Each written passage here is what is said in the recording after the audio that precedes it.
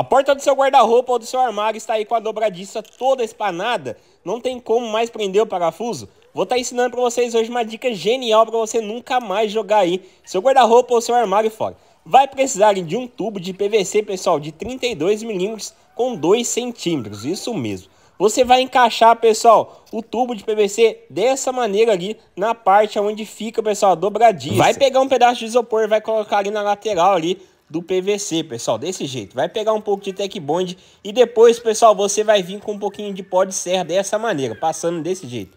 Olha só a reação que vai dar ali, pessoal. Pega um pouco de bicarbonato e tá pronto. Depois é só você retirar ali o PVC. Agora você vai pegar uma lixa de madeira, vai lixar bem, vai retirar toda a rebarba. Fez isso, agora é só você vir com a tinta e já tá pronto. Só você pintar aí da cor que tá a sua madeira. Pessoal, é uma dica genial que eu tenho certeza que poucas pessoas sabiam. Curte, compartilhe e marque a pessoa que vai adorar essa dica. Grande abraço, tchau, tchau.